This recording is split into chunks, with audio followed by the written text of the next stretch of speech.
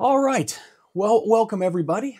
If you're watching this on the recording or whether you're here live, um, I'm excited to do this. I have not done very many of these, but one of the reasons I wanted to start this Telegram group was just because I wanted to do more sort of like hip pocket trainings, stuff that didn't require a ton of build up and there wasn't this huge webinar process that I had to take everybody through just people who kind of already knew who I was and what we were doing, and who just wanted to go kind of one level deeper, other than just getting some emails from me um, and maybe joining a program or something that I've got. And so I'm trying to take concepts as they're coming up in some of the other coaching that I'm doing and then giving you guys some insights into what I'm teaching. And this is there's a I'm, I, this is a shamelessly self-serving on my part because ultimately what I hope is that if you attend enough of these free trainings and you start to learn enough and you start to see a little bit behind the curtain, that it'll be something that you're interested in joining and maybe coming over and, and working with me. And so, um, that said, there's no high pressure sales stuff in any of this. If you end up seeing what you uh, watching the training today and, and you want to talk to me about maybe working together, just send me a direct message here on Telegram and I'll send you a link. We'll set up a time for a quick call. Well, we want to talk today about four questions that all of your prospects are going to ask before they make the decision to buy. So if we're thinking about this in the context of, uh, of where your, your prospect is, the potential client is, is that they already have some sort of, they're already aware that you exist and they're aware that you have something to offer them. And when we talk about offers, if I just come in here and let's do this, let's just start like this. I'll erase this to begin with.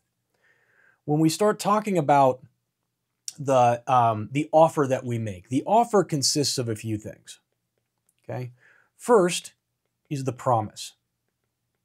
So, what is the outcome that is being offered? And when I was just talking with Ben's here before we got started, he offers nutritional advice, stuff like that. Um, and so, inside of that is probably some sort of uh, a transformational change that's going to occur. Like uh, maybe you have eczema and you're going to help with that, or maybe you have you know uh, severe inflammation and we're going to help with that but what is the promise that's being offered? After we come and work together, you are you are going to have X, Y, and Z, or you're not going to have X, Y, and Z, right? So it could be a um, a reduction in something rather than just a gain. But that's the first thing that we have inside the offer. The second thing that we have is the actual program or product, if that's what you're selling, that you have to offer. So you're making a big promise and saying, This is what I can do for you, and this is what, if we work together, we can accomplish together. And the second in the program is okay, here's the steps, and here's how we're going to do that. So the promise is really the emotional anchor, and then getting them excited about envisioning the transformation and arriving at some point in time where the pain or problem that they're currently experiencing doesn't exist anymore.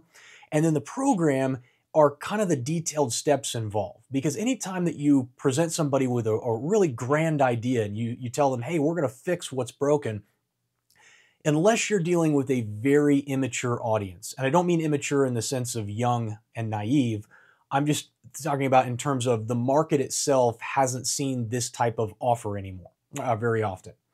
Um, you're going to have to do a little bit of convincing. You're going to provide them a little bit of logic. And especially in the coaching and consulting business, um, anytime we're dealing with clients, there's a pretty good chance that they've already bought something from somebody else, probably multiple things from other people, and they've already heard big promises being made.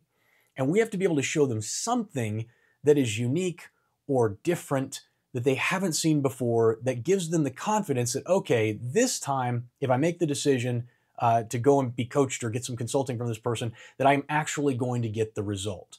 And we'll talk more about that in a minute. So when we talk about the program, too many people try and put the program as the front and center. Here's how many videos you're going to get, and here's the training that we're going to receive, and here's the exercise program that you're going to get, or the advice I'm going to offer you. Um, and they ignore the promise.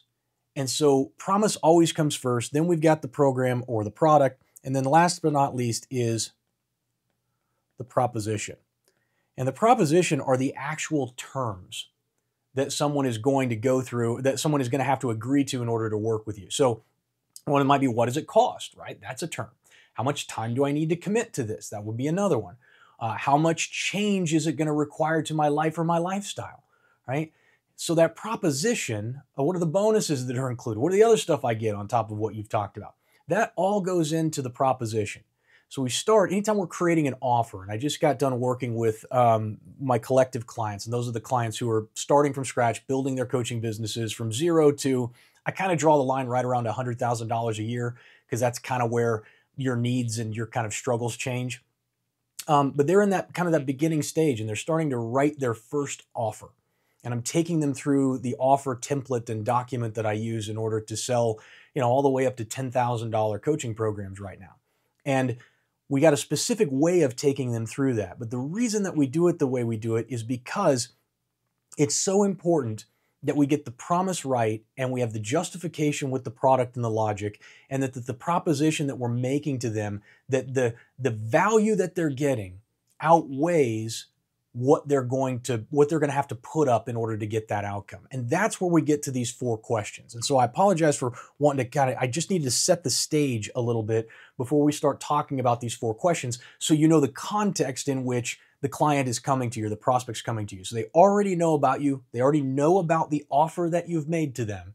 And now they're going to ask four questions before they make any decision or before they choose to buy or not buy in many cases. Okay? So what are those four questions?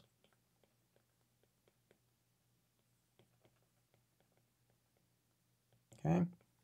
The first one is what is required.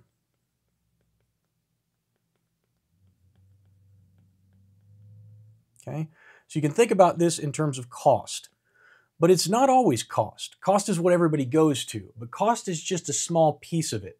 It could also be um, if I'm financial cost, I guess. What is what do I have to pay? It's also you know how many hours do I have to commit to this, or or, or am I going to have to if you're if you're doing diet and nutrition, like am I going to have to go to the gym two hours a day? Because I don't like doing that. That's an extra cost. If it costs me that to go and get the result, then I don't want to do that if I say, in my business, when I work with folks, one of the things that I really hate is one of the biggest things that I hate is improper expectations. And so I set right from the very beginning. If you're starting a new coaching business, you can expect to work 18 to 24 months before you start seeing any real money come out of the business.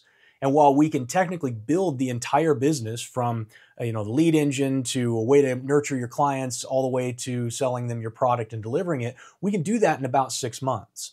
But you need to be prepared that there is going to be effort and and more work that is required for you to get the business to a point where you can actually we're actually making money off of it and you have a legitimate chance of maybe taking that business full time. So I require a six month commitment up front because I don't want to work with anybody who's not willing to make that commitment. I don't want people coming in and thinking they're going to have their coaching business setting up and making money in 90 days. That's what everybody else will tell them but it's not a good thing to do for my clients because they're going to be angry with me and they're going to feel cheated and they didn't get the result that I promised them. And so what are the costs that are involved? Because they're going to make a they're going to make a judgment call as to whether or not it's worth it based on that. The second one is what is the likelihood of success? And we would refer to this as the, the as the uh, belief. Okay? And this one gets overlooked a lot when we start talking about likelihood of success, is because, as I said, if they've come through trainings before, they've been part of trainings that you've done already, uh, there's a good chance that they have tried and failed many times.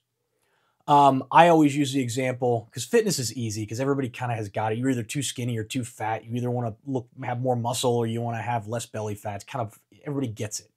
Um, I looked at like P90X or you know, some of these uh, really hardcore fitness programs that you would go through, and uh, and you would look at the people who would get the results, and they, have incredible results, incredible testimonials of people who went in and lost a 100 pounds and now they're in the best shape of their lives. And then you look at the program itself and what is required in terms of the cost, time, effort, energy. And when I look at that, I say to myself, I'm 100% certain that if I bought this program and I did it every single day and I followed the nutrition program the way that it's it's outlined here that I would end up being one of those success stories. Here's the problem. I know I won't do that. I know I'm not going to go and do the hour long training every day and adjust the nutrition to the point where I'm going to be able to look like the guy in the advertisement. And so when we talk about the likelihood of success, it's not just their faith in you, but also it's a faith in themselves. Like what, and if this is a problem in your industry, if it's something that you sell that requires a lot of work, which in many cases, coaching and consulting, consulting not as much, but coaching specifically requires a lot of work by the end user, by the person who's hiring the coach. And if they're looking at everything they're going to have to do and they're saying to themselves, I am not going to be able to do that, then inside of your offer, you have to overcome that in the languaging that you're using. You have to be able to explain to them, hey, I, it probably feels like you're not going to be able to do this. This seems like it's a lot. But in reality, it's not really as much as it looks like. It could be you could say something to the effect of, but we've created some systems or some processes. We've done some of the heavy lifting for you so that it ensures you're going to get the result when maybe you haven't before. But if you're not answering that that third, that second question of what is the likelihood of success, in their mind, they have to believe that there's a high likelihood that they're going to succeed at this. Otherwise, what? They're setting their money on fire, right? So we got to be able to answer that question as well. Then the third question, okay, is what is the worst that could happen?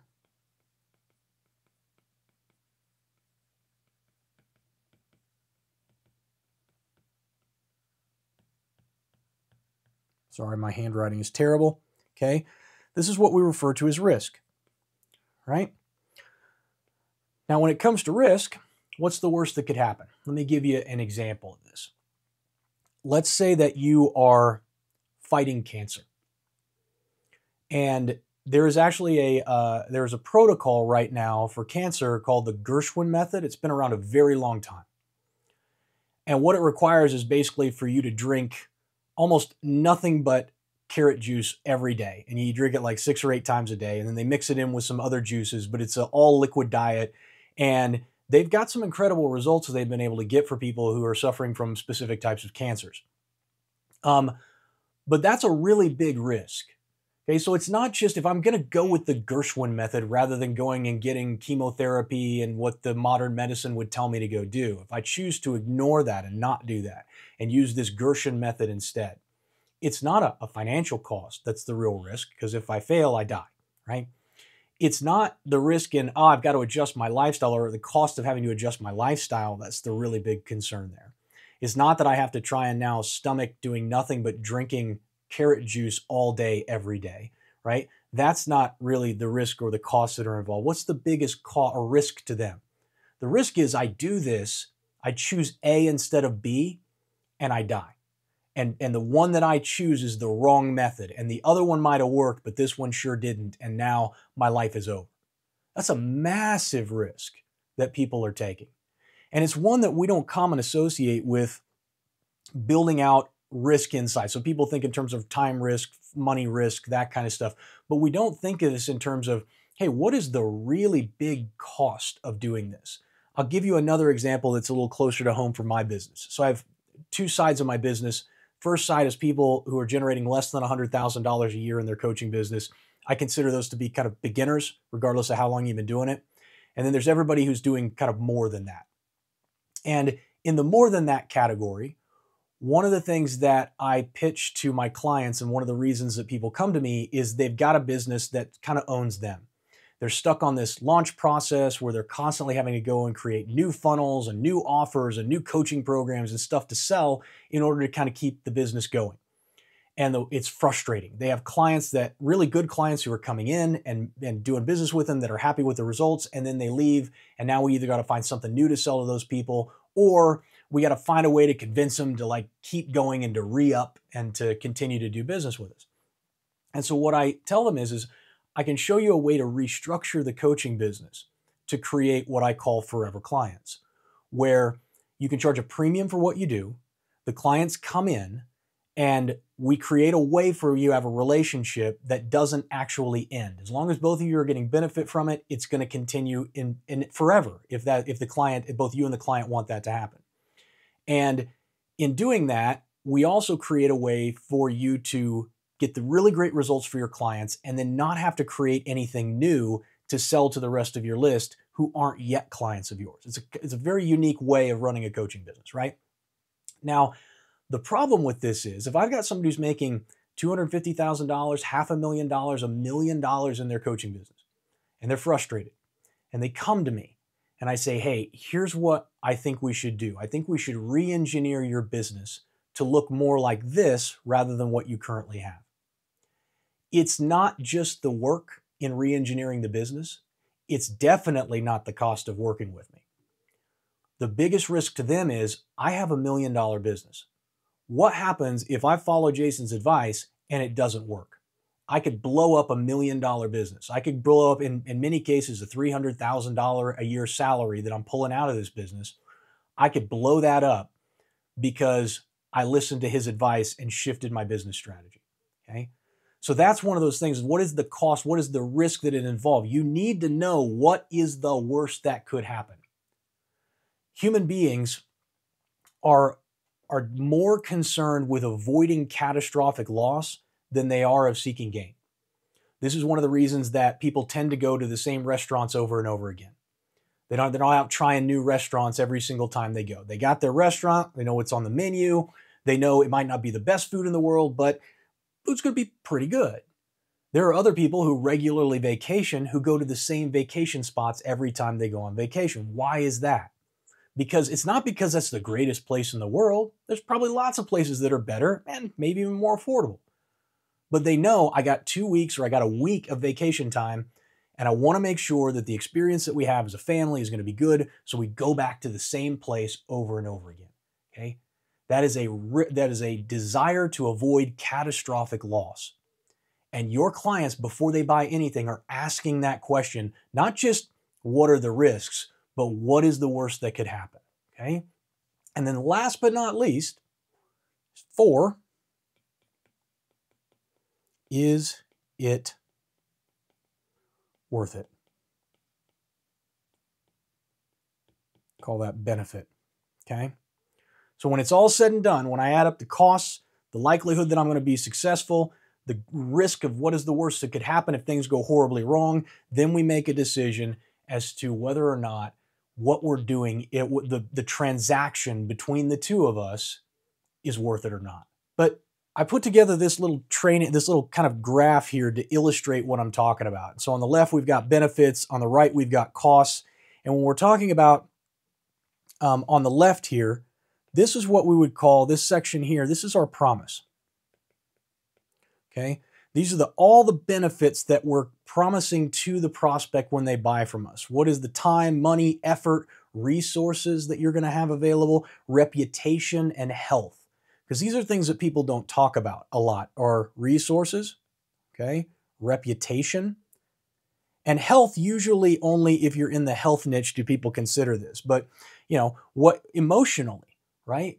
If you if I can if I can get you to a point where you can work 2 or 3 hours a day on your business and that business generates you 2 or 300,000 dollars a year in income, and it gives you a lot of free time and it gives you stability of cash flow so that you're not stressing every month about where the money is going to come from.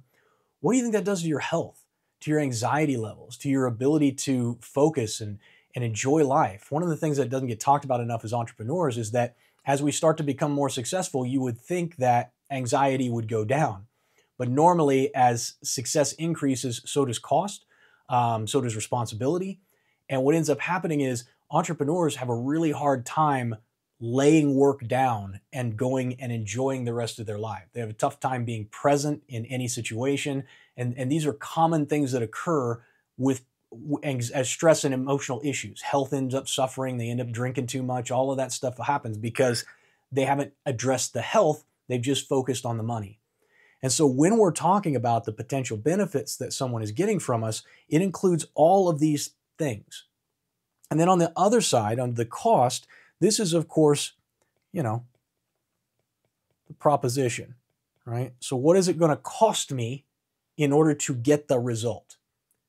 And what we want in here is we want the benefits to so highly outweigh the cost that it becomes a no brainer, right? So, if I tell you that I can help you create oh, let's just say I can help you create $5,000 in the next 30 days by getting you, you know, 10 new clients. Okay. And I'll do it all for you. I'll put together the entire funnel. I'll do all the copy. I'll do everything for it. And I'll just give you this turnkey thing. And it's going to cost you five grand. Okay.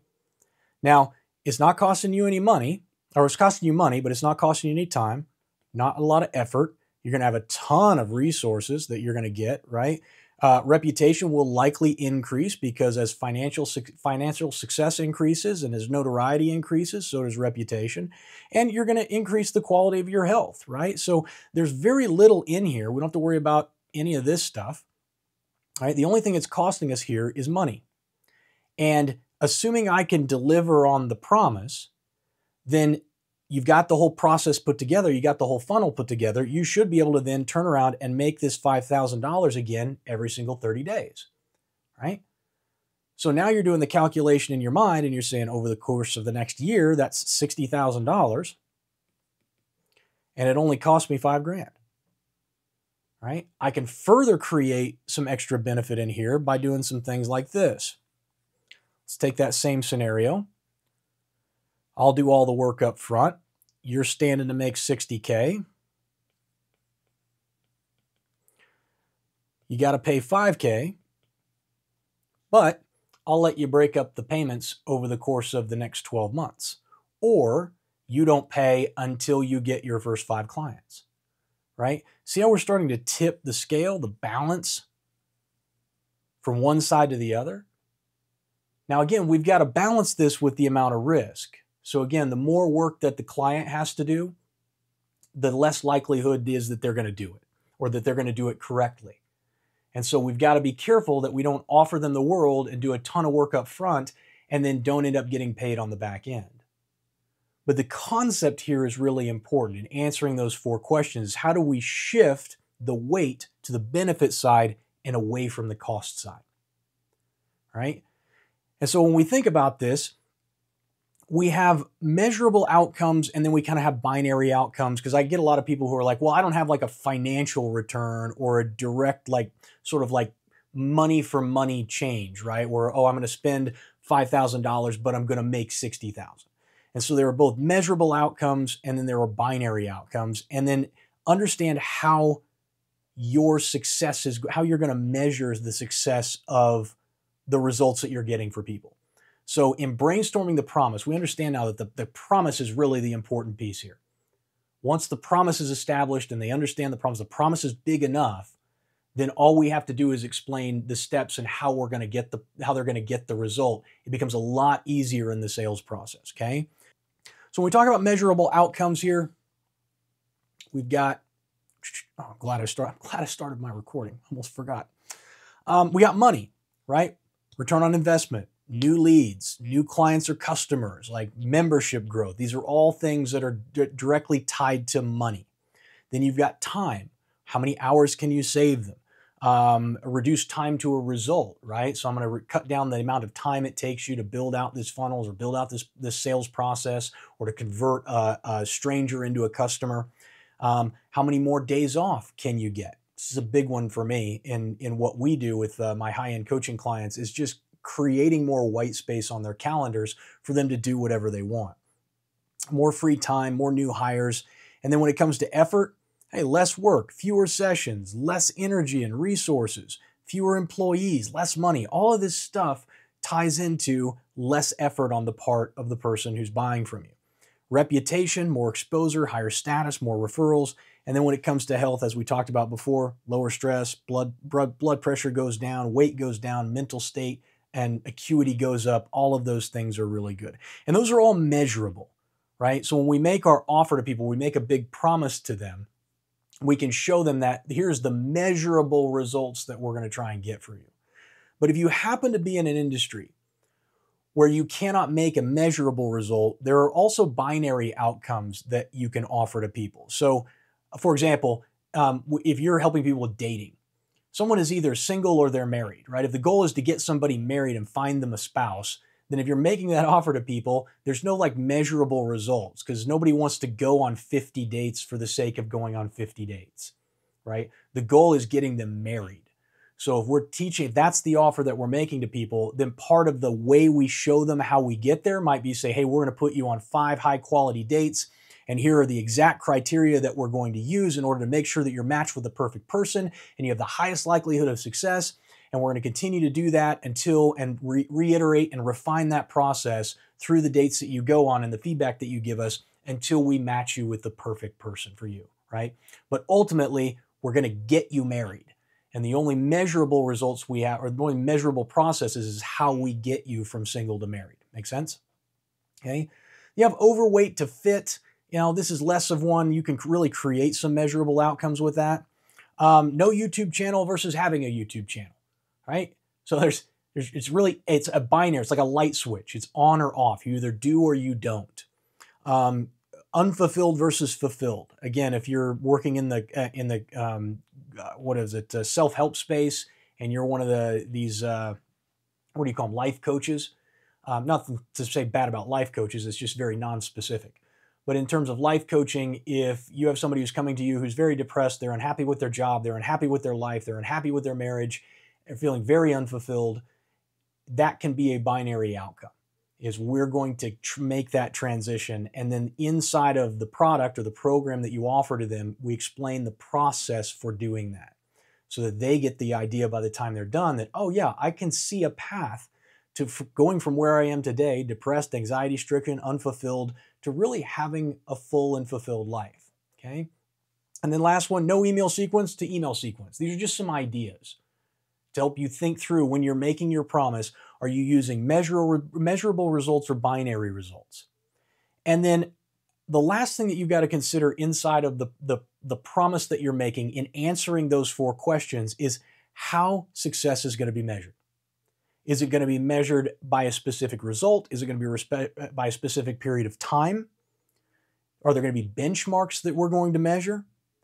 Is it a binary outcome? Like the, we'll know we have the result when you have the YouTube channel built?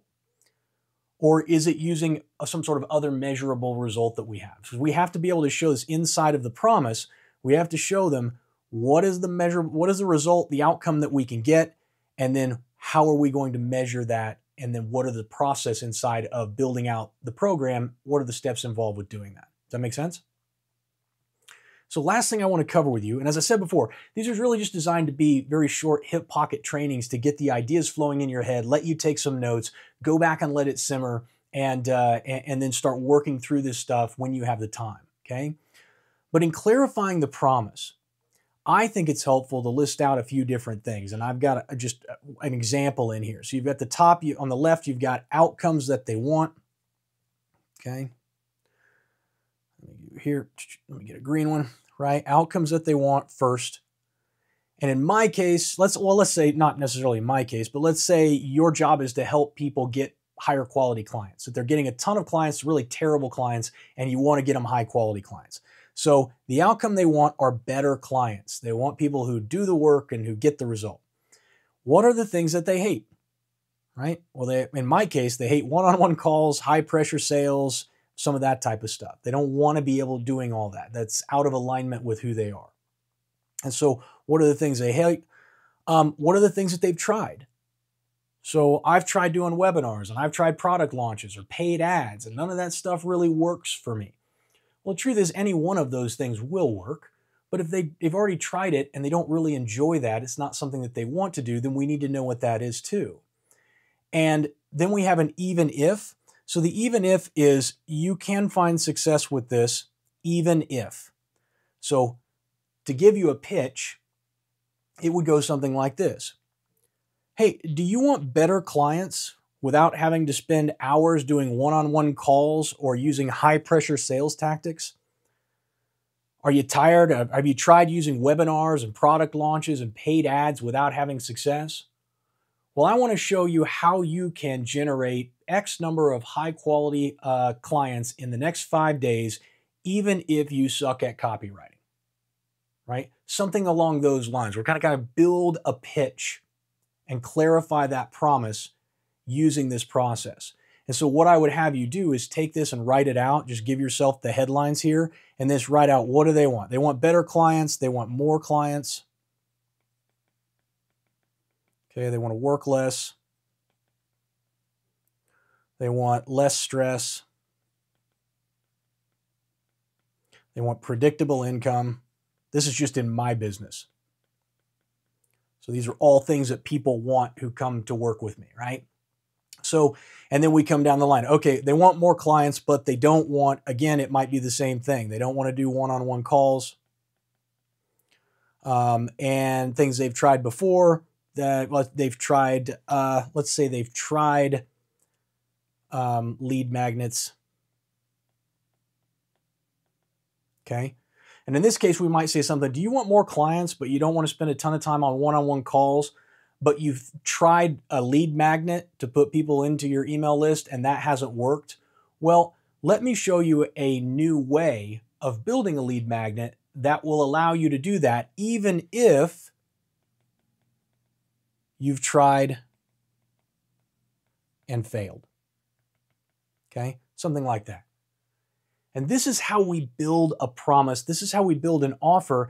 And ultimately, it's how we answer these four questions what is required and the cost? How do we drive down the perceived cost of what we have to offer? How do we increase in the prospect's mind the likelihood that they are going to get the result that they want? How do we identify what the worst thing that could happen to them is and then overcome that? Or at least mitigate it as best we can. In many cases, you can't eliminate it, but you can mitigate it. And then the last not but not least, leave them with the question when they are ask, asking this final question that is so heavily weighted in favor of the benefits that they say, I would have to be an idiot not to take this deal.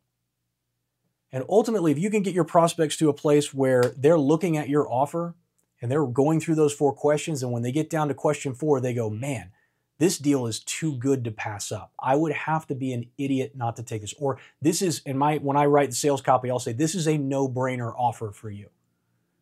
And the idea is the offer is so good it just makes too much sense not to do it. Right? That's the way we want to have it play out. And so go back into your offer as you're putting together if you're putting together your first offer, start thinking through these questions. If you're putting your product together and you're starting to think of what is the result that I'm going to try and get for this prospect, how do we get that result as high as possible? And one of the best ways that you can, there's the best exercises you can do to run through this is ask yourself, I don't know, what was that? Um, ask yourself the question, um, what if money was no obstacle? So I was thinking about charging $500 for this program, but what if I charged 5,000 or 50,000? What could I do if I didn't put a ceiling or a max on what I charged the client how big could I make the outcome? How big could I make the promise? And oftentimes, what you'll find with that is that it makes a lot of sense to go from a $500 offer to a $15,000 offer. You can do a lot more and do a lot more work with the client for the client at those higher price points, which in the end is going to create a better offer for the right person. And then it's just a matter of going out and finding those people. And I got to tell you right now, there are plenty of people out there who will pay $10,000, $20,000, $100,000 for coaching and consulting work as long as the outcome that you can deliver is big enough, right? So, what questions do you guys have before I let you all go?